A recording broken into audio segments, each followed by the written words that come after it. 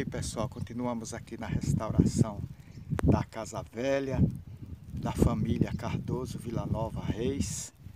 E nós tínhamos aqui nesse local uma, uma garagem que foi improvisada aqui, aqui no oitão que dá para o poente.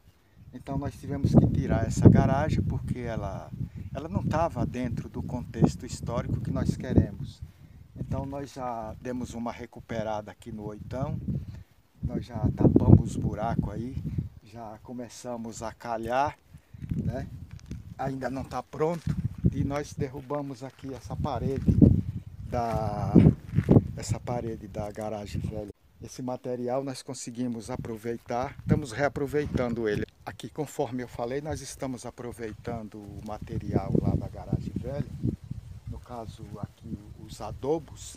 Estamos fazendo esta parede da da cozinha que nós tivemos que tirar essa parede e refazer porque ela estava numa situação que não tinha como recuperar. Aqui a cozinha por dentro, a parte que nós vamos restaurar também, que a gente vai é, dar um trato também aqui nesse fogãozinho.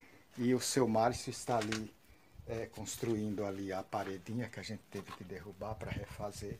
E nós vamos deixar essa cozinha bonitinha também. Essa era a cozinha da última moradora dessa casa, a dona Jessi. Eu sou Edjalma Ferreira e tenho um canal no YouTube. Se inscreva no meu canal e muito obrigado. Quando se inscrever, ative o sininho para quando eu postar uma coisa boa, interessante como essa, você poder acompanhar.